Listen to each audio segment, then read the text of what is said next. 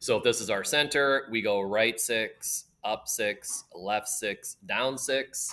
Then what we do, pin this guy, is we replace that R with your radius. And then I said yesterday, you'll see it two different ways. I would accept both ways. This is completely fine. But you would also often see it written as just 36. Then you would, if I gave you that equation, need to realize that the radius is six. It's the square root of that. All right. So that's what we simply did when your center was zero, zero. Then we went to the back page of yesterday's notes. Um, and we had it when it wasn't centered at zero, zero, which is now what two is saying. So it says, what if the circle is translated three units to the right and then two units up? So think about what that would mean in terms of our center. So if our center was zero, zero, and we're now going to write this new circle. All right if we did these two things. So if the x coordinate was 0, 0, and we went three units to the right, so I'll show it on this one.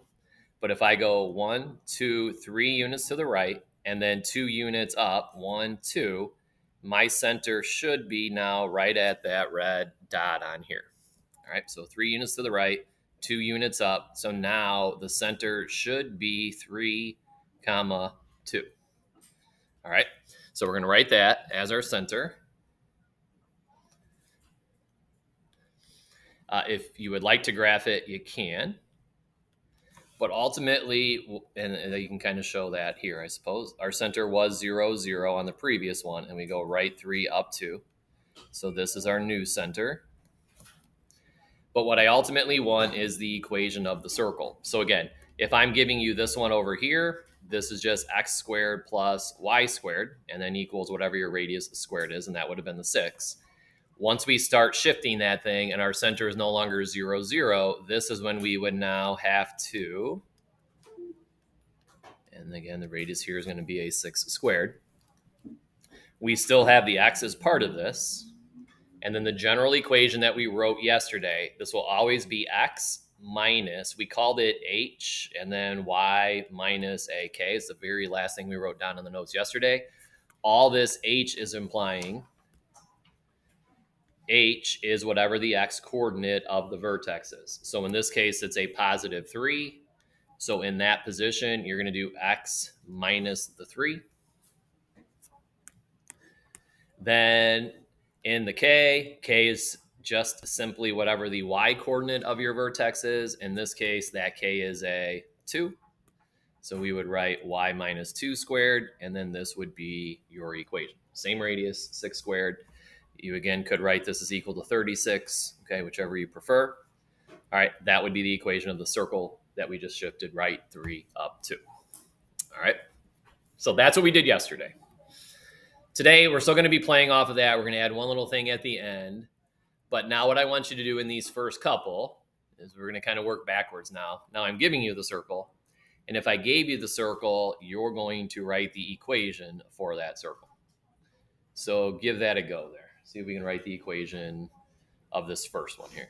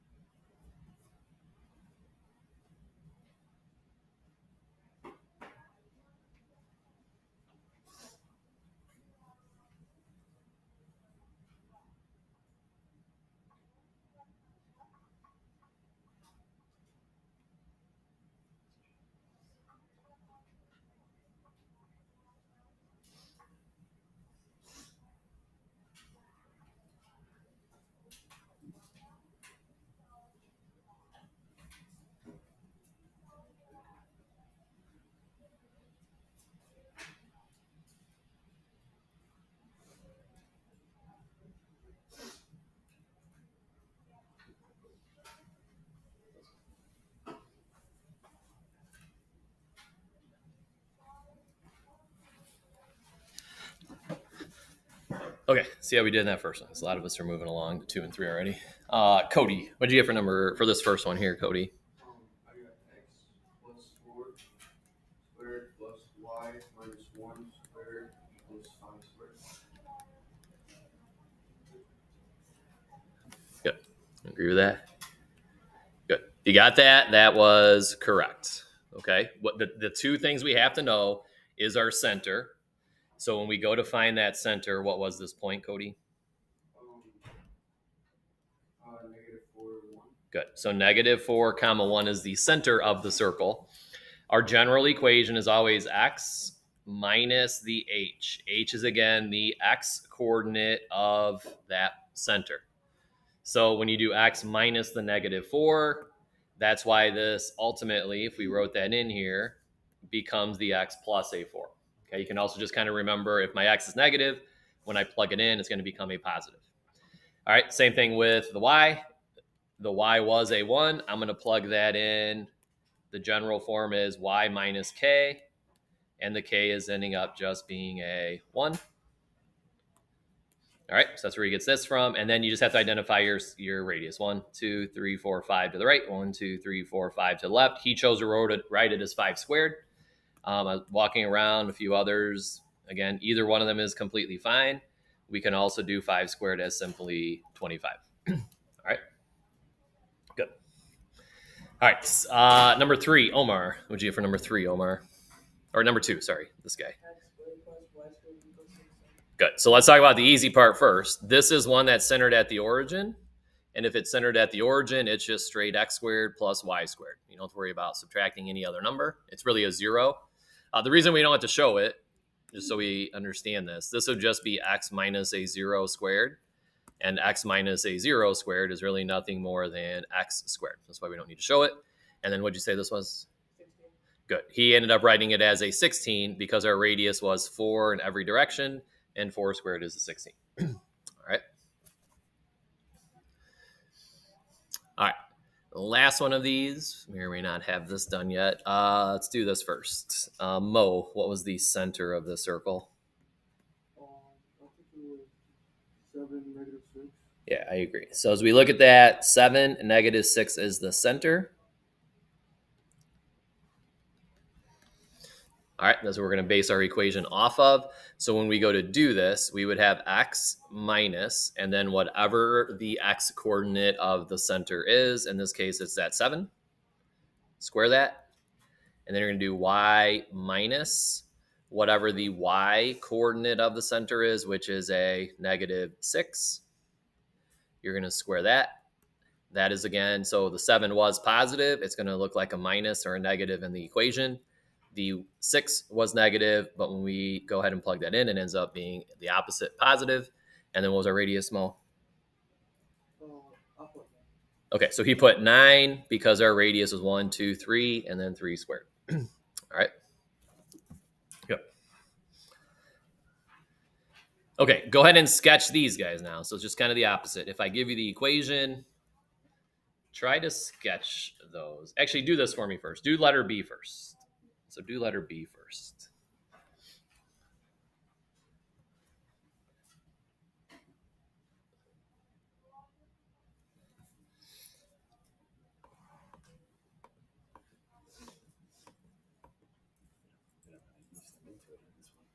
No. I need my calculator up to show it here.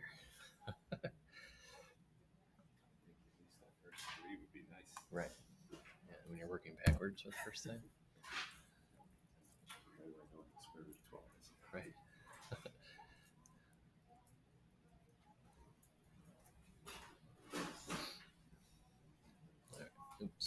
That.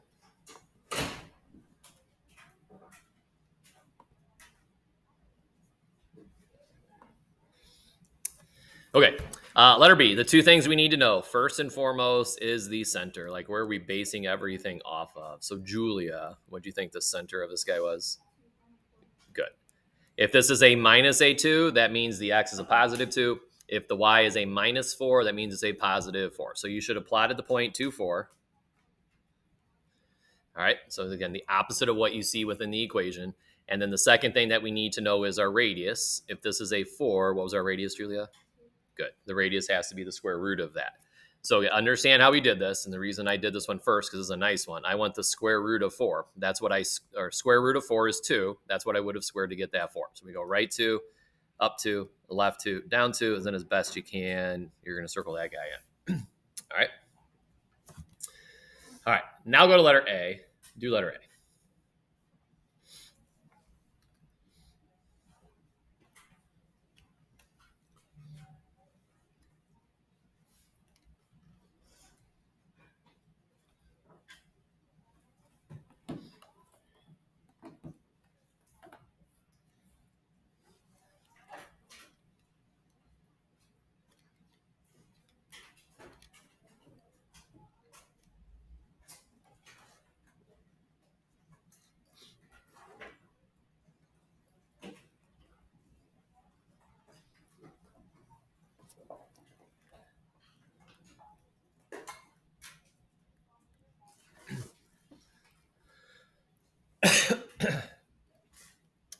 All right, this one, uh, Joel. What is our uh, center?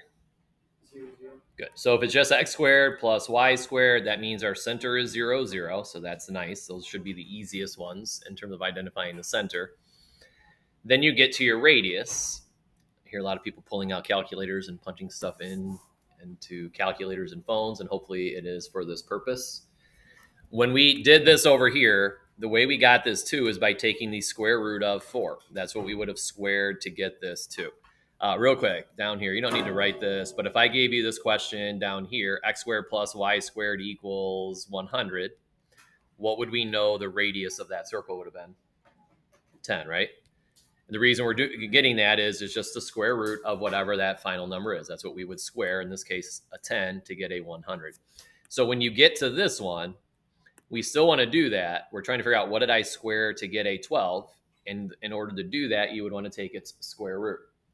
So the radius of this is root 12. We should know how to simplify that. This is the whole finding two numbers that multiply to be a 12, with one of them being a perfect square. Uh, not a lot of options here. We'd settle on 4 and 3 pretty quickly.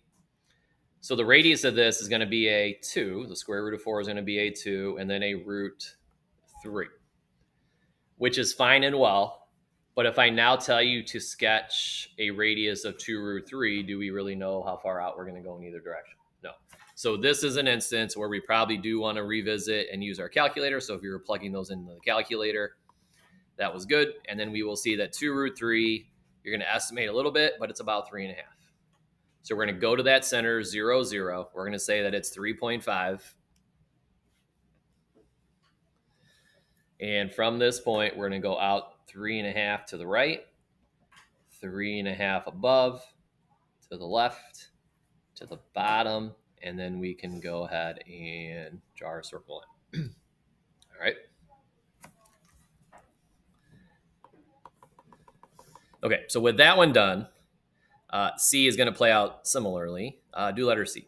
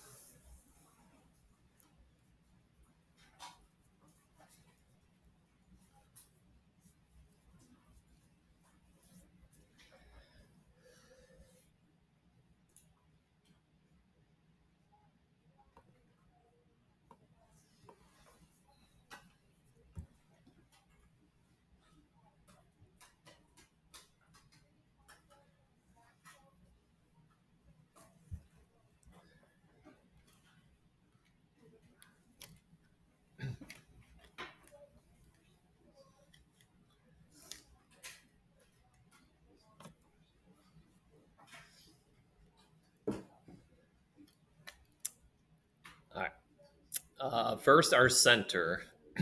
Uh, Caden, what do you think for the center of the circle? Good. So again, so far we're, we're perfect. If it's a positive number in the equation, so this was a positive one, that means it's a negative one within the center.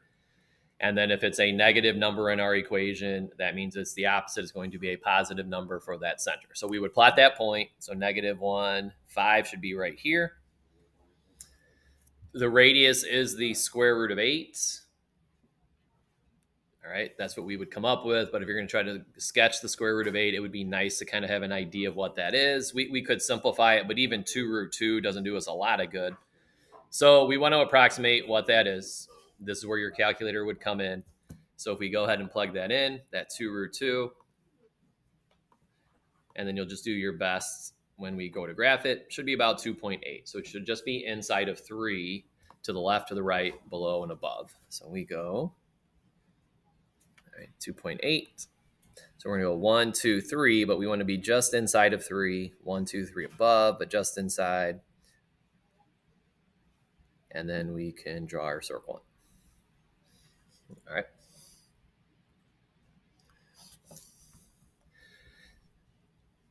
So most of that's, we're just kind of working backwards a little bit, asking to do a little bit more, but all sort of in line with what we had done yesterday for these equations. All right, what is going to be largely completely new is number five. All right, so definitely be able to do this. You're going to get some homework on this tonight. You'll, you'll get a little practice on this. But if you go to number five, uh, what this is called when we're writing these equations of circles, the standard form of an equation of a circle is this guy, where I could look at this right away. And the reason this is standard, the reason we want it to look like this is I could ask you right now what our center is and you would be able to tell me that it is a negative 5 comma 7 and if i were to ask you what the radius is you would be able to tell me right away that it is 4 all right that's the useful information. Not every equation would be written like this right from the beginning. So this says can you take this standard equation so this is the standard form and multiply out that equation? All right so here's what this means instead of that x plus 5 squared we want to go ahead and multiply that out. Same with the y minus 7 squared. So y minus 7 times y minus a 7, and then that's going to equal 16.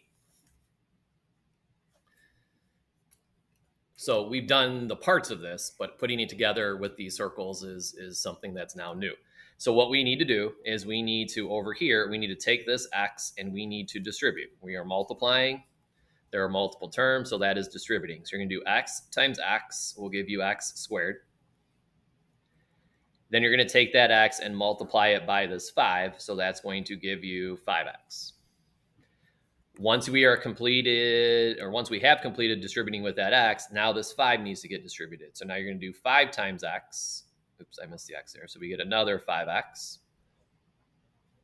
Then you have to take this 5, multiply it by the other 5, and then that's five, uh, 25.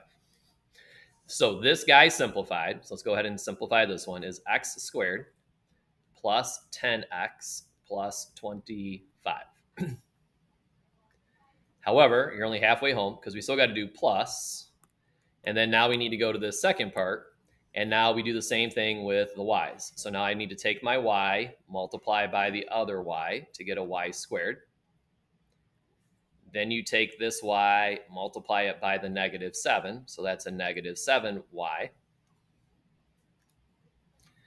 Once you have distributed that, now the negative 7 needs to get distributed. So the negative 7 times the y gives us another negative 7y.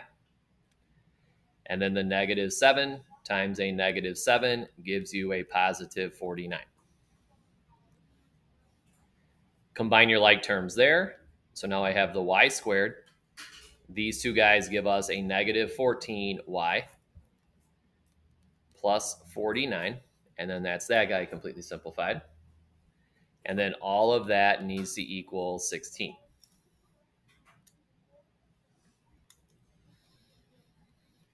All right, good with that. All right, then standard form then what we are now going to do, we have some like terms that we're going to combine on the left-hand side. So I'm going to do x squared plus 10x. So I'm just dropping down. This term you're just going to rewrite. This term you're going to rewrite. You're going to rewrite these guys, y squared minus 14y. But then we have like terms. So we're going to take these two guys. We're going to combine them together. So the 25 and the 49 added up give you 74, and then that equals 16.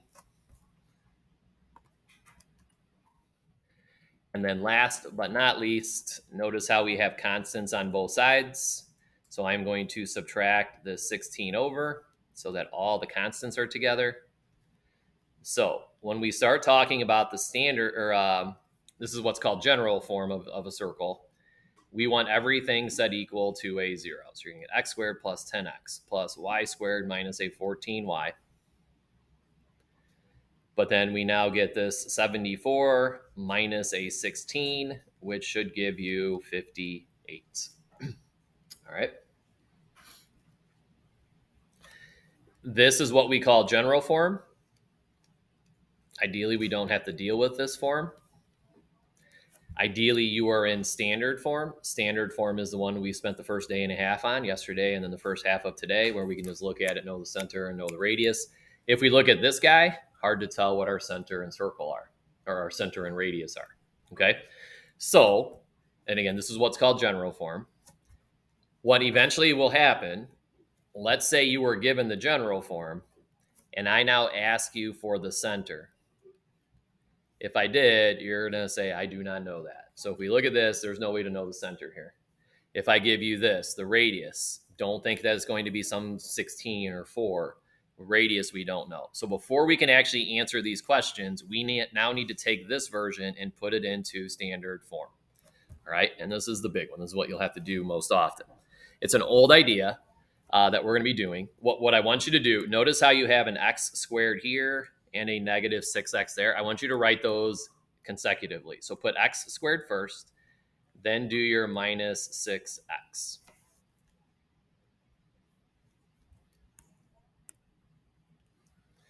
All right, then notice you have y's that are common or common y terms. You have a y squared and a positive 20y. So put those in order. So I'm going to put plus y squared plus 20y and then minus the 16. So we just rearranged basically. We just move things around. And then now let's see what we remember of this. A very long time ago. This is very much first semester stuff. Remember how we would take this guy right here, x squared minus 6x, and then we would leave a little blank here, and I would ask you, what would we need to add to this? Oops, erase that to this location right here to make a perfect square. So remember when we were drawing all those little squares and we were trying to make it a perfect square? All right, I think way back, October, November. Uh, here's how we did that. If you need the square, you're more than welcome to do it. Hopefully after you see one or two, we can jump right to this with a little shortcut. Uh, this was always our x squared, and we always got that by taking x and multiplying it by an x we talked about if this is a square, then this length and this height have to be the same. So if I had six x's total, that means three of those had to go right here, and three of those had to go right here, so that I get x minus three, x minus a three. Then it's a square. Same thing for the length, same thing for your height. To make a perfect square, what would this bottom right-hand corner have to be? Remember that? Yeah, that would have to be a 9, the negative 3 and a negative 3. So what we're going to add here is a positive 9. Now, keep in mind, whenever we would just add this number out of nowhere to create a perfect square, remember how we would subtract 9? We still need to do that. So where we're going to do that, we have this little negative 16 in the back. We want to subtract um, I'm going to put it underneath just so we can kind of understand. We want to subtract the negative 25 there. Uh, not 25, sorry. Negative 9 there, which will ultimately give us a negative 25. So if I add a random 9 out of thin air here, I need to subtract it away elsewhere so we haven't changed the problem. Okay? Now, not done, because now we have to do the same thing with our y's. Now I have y squared plus 20y. So now, see if you do remember this you can draw the square if you want down here. What number do I need to add right here if I had a y squared, a 20y to make this a perfect square? Don't say it. See if you remember how to get it.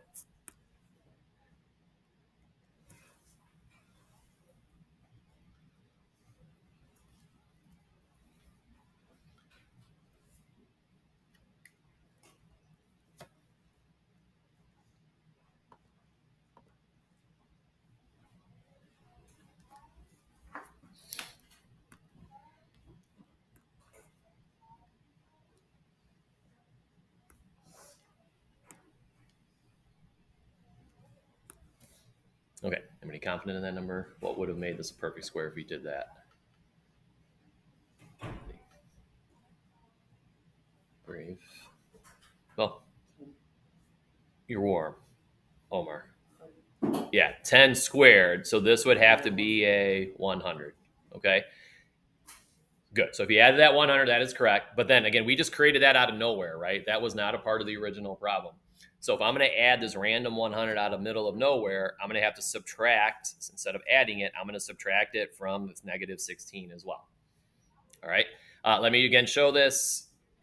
Again, this is very, very valid. Don't worry about if you need to do this. This had to have been y times y to get this y squared. And if it's a square and I had 20 y's, that means I needed to split those up evenly with 10y here, 10y here, and then those 10s together give us that 100.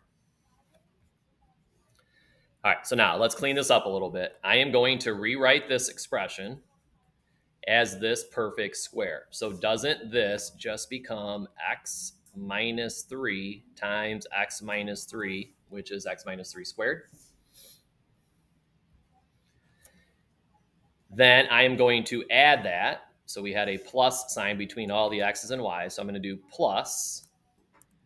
And then now I'm going to rewrite all of this here, all the y stuff, instead of y squared plus 20y plus 100. Didn't I just have y plus 10 times y plus 10? So I will write this as y plus 10 squared. And then finally, now we're going to combine all of these constants. So if I had a negative 16 minus a 9 minus a 100, that would give me a negative 125. Let's talk about what we do now know. Initially, when I asked you what the center was, you wouldn't have been able to tell me the center. Can we now look at that and determine what the center of the circle would be. Yeah, this is 3, negative 10. So it is nice if we can put it into standard form because now I know that our center is 3 and then negative 10. The radius we sort of know. Uh, we should know that in standard form, we really want this guy to be on the other side. So we want to move him to the other side over here. We would do that by just adding 125 to both sides. And then this should now look like every equation that we had dealt with up until this problem. So that if I asked you the center, which we already talked about, we would look at this right away, know the center is 3, negative 10. And now that we have that 125 over there, we should know that the radius is the square root of 125. Um, then if I had asked you to graph that, I don't know what that is off the top of my head you would have to graph that with a radius of about 11, so 11.2. All right. so it's a review of what we did last semester. It's a very, very long time ago, but it is kind of the same stuff so that we can put this into standard form. okay. And there'll be a couple of those on the homework tonight. All right. We'll see how those go. Okay. All right. When you get this, uh, I'll write it on the board. You're not going to do all of these. I'll tell you which couple not to worry about.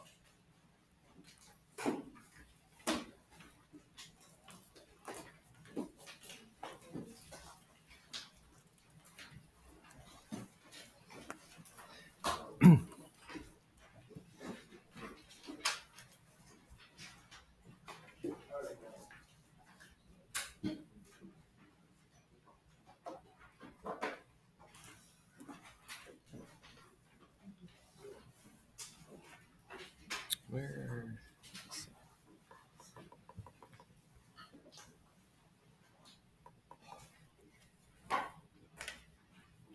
They're missing. How did that happen?